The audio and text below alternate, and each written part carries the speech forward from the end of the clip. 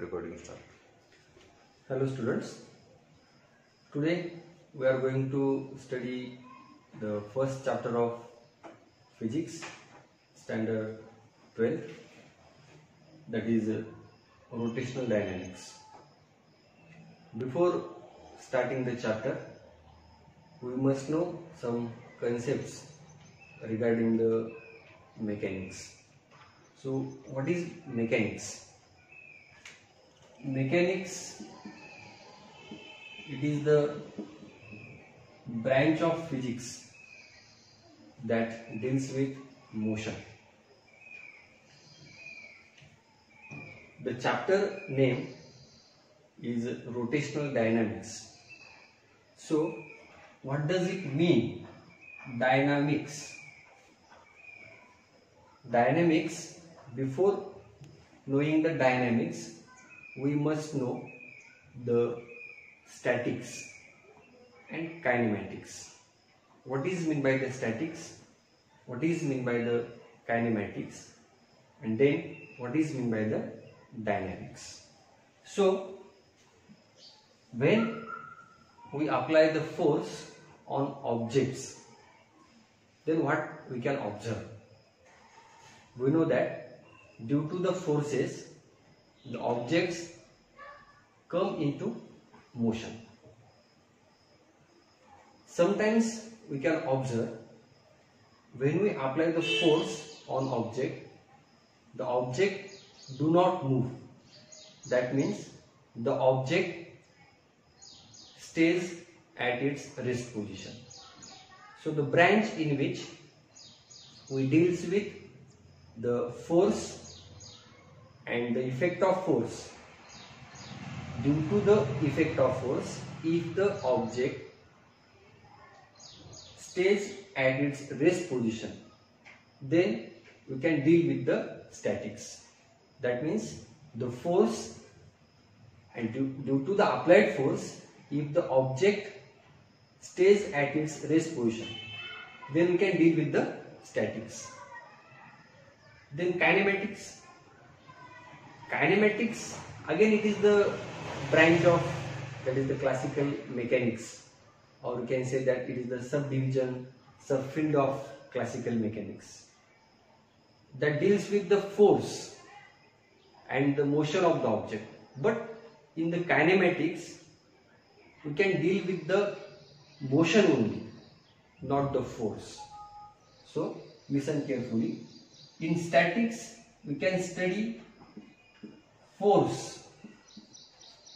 And due to the force due to the applied force the object remain at its fixed position. That means object do not move due to the applied force. So that is the statics. At rest at the stationary position object remain at the stationary position. That means applied force do not produce any net effect on the object regarding its motion. In kinematics, we can deal with the force. Due to the applied force, the object is in motion. Object can move due to the applied force. But when we study this branch of classical mechanics, that is the kinematics, then we can only deal with the motion and not its cause. We can deal only with motion and not its cause. Why the objects moves? What is the reason behind that? We can't deal with that. We can deal only with the motion. We are also know the kinematical equations. In uh, kinematical equations, there are three kinematical equations.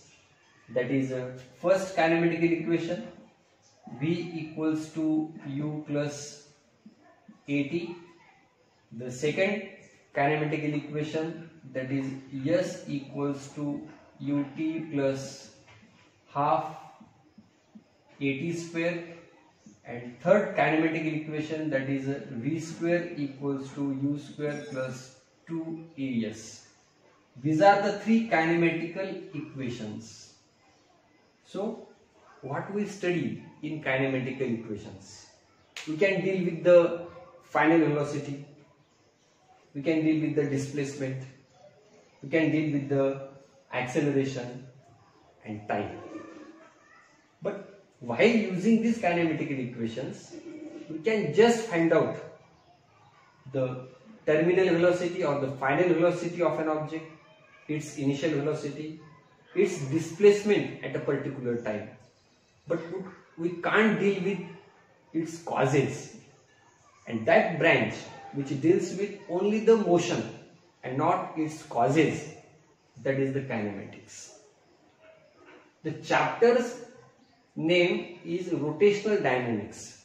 We have to study the rotational motion but in rotational motion also there is a rotational kinetics and rotational kinematics. That means rotational uh, dynamics and rotational kinematics. So when we consider the dynamics then we have to study the forces and its causes also. So three basic things are there while going to start the rotational dynamics we must know that is uh, what is mean by the statics, what is mean by the kinematics and dynamics. So when we deal with the statics, then just we have to study the object at rest even if the forces are acting on that object but they do not produce any resultant effect on the object. Object keep its position, object remains at its stationary position or object's velocity zero. The forces are applied on the object but the object keep its position. It is at rest. So that is the statics. Kinematics due to the applied forces the object can move from one position to another position. Object can stop due to the applied forces. That means it can changes its uh, position. It can changes its velocity but uh, with uh, respect to the time. But we can't deal with the causes. Why it moves? What is the reason behind that? Only we are considering its motion and not the causes of that motion. So that deals with the kinematics. And when we deal with the dynamics, then in dynamics we have to study both the forces and its causes. So both the things in dynamics we have to study the forces and motion. Both the things. What happens when the force is applied on the object? How the object moves from one position to another position. So that means we are dealing with the motion and its causes also. So that is the dynamics and therefore the chapter's name it is the rotational dynamics. We know that uh, certain kind of motions are there. We are familiar with certain kinds of motions also. That is a, a linear motion. When the object moves in a linear path, then we can say that the motion is linear. Like this. Suppose this is an object when we apply the force on this object and if the object moves in this way in a straight manner then we can say that the linear motion is there. When we apply the force on an object an object moves along a curved path then we can say that this is the curvilinear motion. When you apply the force on an object and if the object moves in the circumference of a circle or you can say that the circular trajectory in an anticlockwise sense then you can say that it is the circular motion. One kind of motion we have to study in this chapter that is the rotational motion. So what is mean by the rotation? First of all we have to study the two basic things that is the rotation and the revolution. What is mean by the rotational motion? What is mean by the revolutionary motion. So first of all, what is the basic difference between the rotation and revolution? Revolution and rotation. Rotation. For that purpose, we have to consider a rigid body. Again, what is mean by the rigid body? Rigid body. Suppose this is the rigid body and these are the particles within that body. So when we apply the force on this body and if the distance between any two particles remains unchanged that is fixed then you can say that the body is rigid one okay and if we rotate this body about a certain axis. What is meant by the axis of rotation? Suppose this is the straight line passing through this object. Now we can rotate this body about this axis axis of rotation. Axis of rotation. Axis of rotation that means the straight line passing through the object about which the body can rotate that is called axis of rotation so now we can rotate the body in uh, anti-clockwise direction or in clockwise direction. So that depends upon us how to rotate.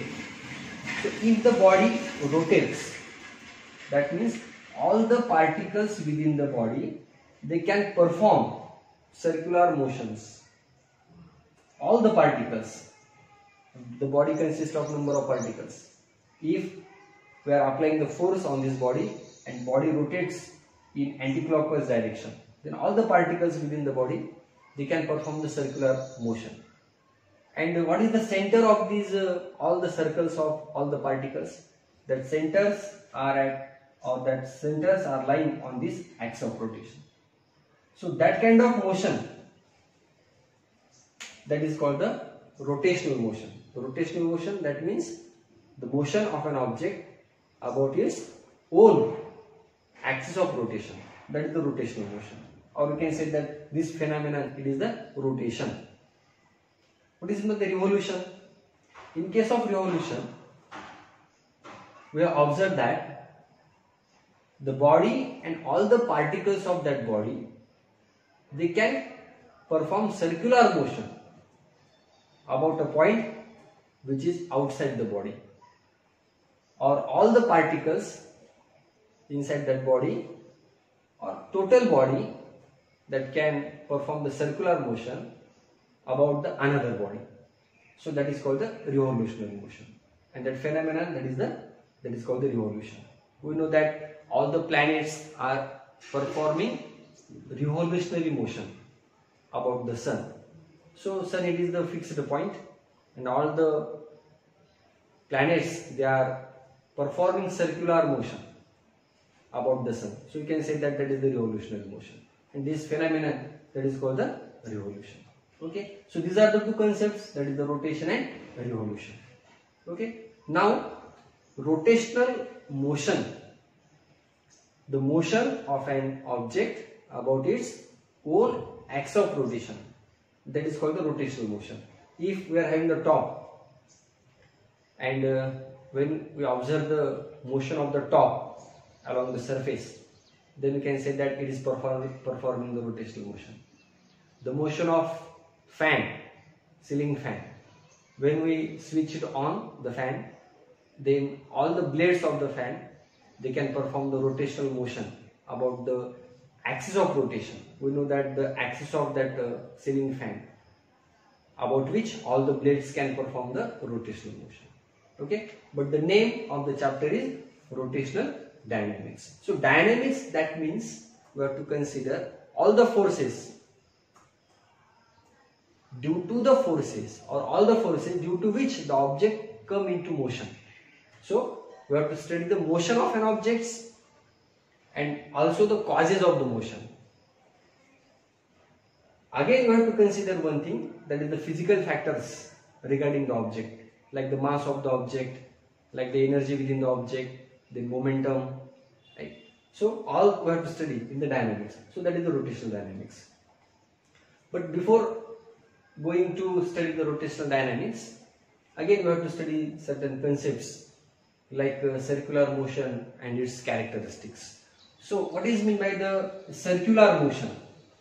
We are familiar with the circular motion and also we are familiar with the characteristics of circular motion. Circular motion that means the motion of an object along the circumference of a circle. Suppose this is the circular trajectory or circular path.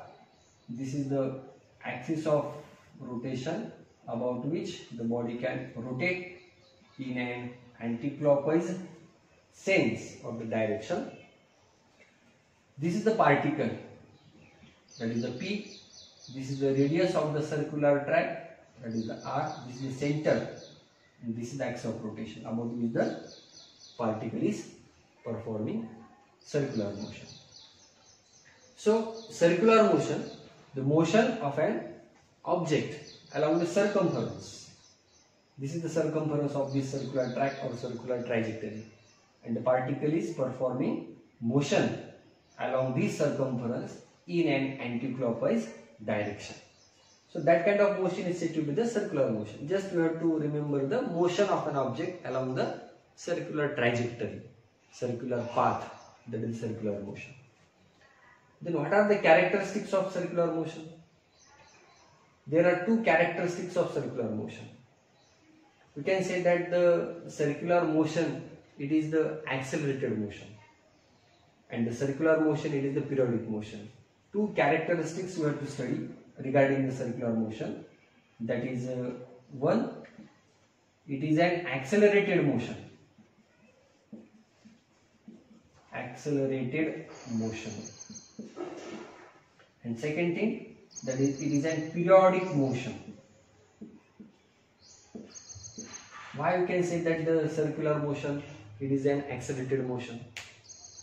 Accelerated motion that means there is acceleration. When we can observe the acceleration? When there is a change in velocity. Suppose the object is moving along this uh, circumference of a circle. Then what is the direction of its velocity? We know that the direction of velocity it is always tangential to the circular track. So this is the direction of velocity. Suppose the particle P is performing circular motion and now the particle is at this position. Then uh, R vector that indicates the position of the particle along this circumference that is called the position vector or the radius vector of this circular track, circular trajectory. Then V, it is the linear velocity for the particle. Object or the particle is moving, that means it is having certain velocity. V, it is the linear velocity for the particle or you can say that it is having the speed. It is moving with certain speed. So what is the direction of that speed or the velocity? If the particle is performing circular motion, then V, it is the direction for the linear velocity. And direction, it is always tangential to this circular track. So this is the direction of linear velocity when the particle at this position. When the particle suppose moving and now it is at this position, then this tangent that will give the velocity. So we can draw the direction for linear velocity at every instant on this circular track. So if the velocity changes, that means the velocity increases or decreases, then there is a change in velocity. And if the velocity changes, then we can say that there is a acceleration. So the first characteristic of circular motion that is it is the accelerated motion so there is an acceleration but what happens when you consider the uniform circular motion that means there are two types of circular motions that is a uniform circular motion. And second one it is the non uniform circular motion. Sometimes it may happens if the particle or the object is moving with constant linear speed then we can say that the motion is uniform circular motion. So we can define circular motion uniform circular motion. In case of circular motion we are not dealing with the velocity it may be varying it may be increases or it may be decreases but just we have to consider the object is moving along the circumference in case of circular motion. In case of uniform circular motion, motion is circular but it is a uniform one.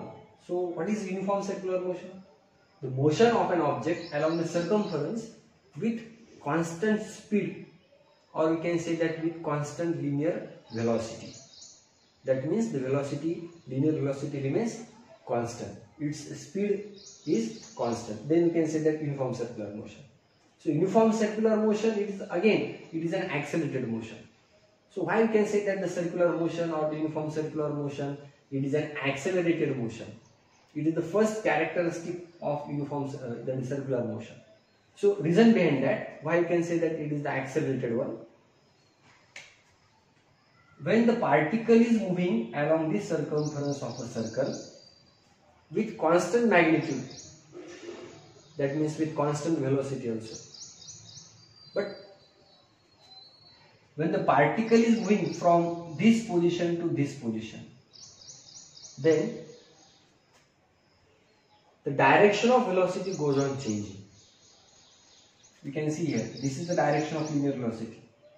This is the direction of linear velocity so we can draw at every point on this circular track or the circular path the direction of linear velocity. Suppose the particle is at this position at a certain time interval, then this is the direction of linear velocity. That means we can observe the direction of velocity goes on changing at every instant. And therefore we can say that the motion is accelerated. There is acceleration. So why there is acceleration? Or when we can say that the acceleration, we can when we can observe the acceleration? If there is a change in the velocity we can observe the acceleration. When the velocity changes if the speed changes or if the direction changes if the magnitude kept constant and object is moving along the circular path and if its direction changes then we can say that the velocity changes. And if the velocity changes then acceleration is produced and therefore we can say that the circular motion is an accelerated motion so there is a change in velocity at every instant. The second thing or the second characteristic of circular motion it is the periodic motion. So from this uh, diagram you can observe the motion is periodic one. Periodic that means it is repeated after an uh, certain interval of time. So initially the object is at this position. After some time the object is moving along the circumference and again it reaches at its original position. If the force is continuously supplied to the object, then object doesn't stop along this circular path of the circular trajectory. It continuously moves along the circular path. So if the particle repeat itself, that means repeat its path again and again, then you can say that the motion is periodic. So you can observe the motion is the periodic one. So these are the two characteristics of circular motion. That is, it is an accelerated motion and it is the periodic motion. So this is regarding the circular motion and its characteristics. Then uh, one concept is there that is the center of mass. So while studying the rotational dynamics, we have to study that is uh, what is meant by the center of mass what is meant by the center of mass? So if we want to balance this uh, marker pen, then we have to put the marker pen exactly at that point like this. This is the point at which we can balance the pen. So we can say that this point, it is the point of center of mass. When you consider an object or a body, the number of particles are there. But within the body or within that any arbitrarily chosen body we can consider here. these are the number of particles within that body but there is a certain point like this suppose this is the point we can say that at which the whole mass suppose capital M is the total mass of this body. Then total mass of this body is supposed to be concentrated at this point. There is a one point at which the whole mass is supposed to be concentrated. And that point it is called the point of that is the center of mass. So that is the center of mass. Center of mass it is the point inside the body at which the whole mass is supposed to be concentrated that is the center of mass then we have to study the real forces and pseudo forces their origin and their applications these are the certain points that we have to discuss in this uh, today's video. Uh, then the last one is real and pseudo forces. In day-to-day -day life, we can come across the number of forces. In these forces, the some forces are real and some forces are non-real. Non-real forces or also they are called the pseudo forces. But we can't say that they're not real one. They are non-real. Real and non-real. You can't say that the imaginary one. Pseudo means non-real. So real and non-real forces what is in the real for the real forces like the centripetal force and for the non-real or the pseudo forces that is the pseudo force what is the criteria to distinguish between the real and pseudo forces. Real forces are those forces for which we can know the interaction of their origin, how they come into play. That means we can know the origin for the forces. What kind of interaction can happen there and the forces are arises. So that forces are said to be the real if we know the reason behind the forces, how they come into play, then that forces are the real one. For example, uh, in case of real forces, the electrons in an atom, the electrons can move in a circular path about its nucleus.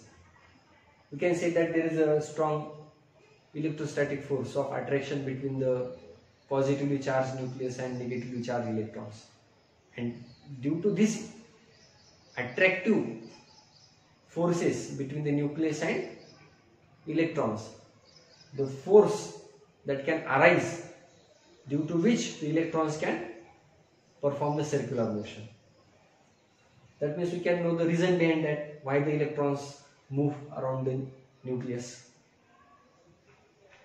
So that is the real forces.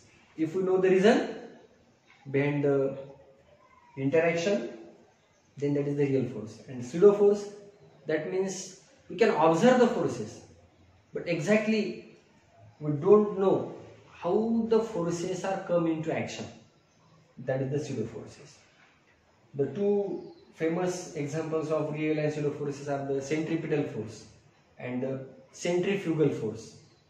Centripetal that means the center seeking force. Centrifugal that means the uh, that force act along the radius of a circle but its direction it is away from the center of that circle. So that is the pseudo force.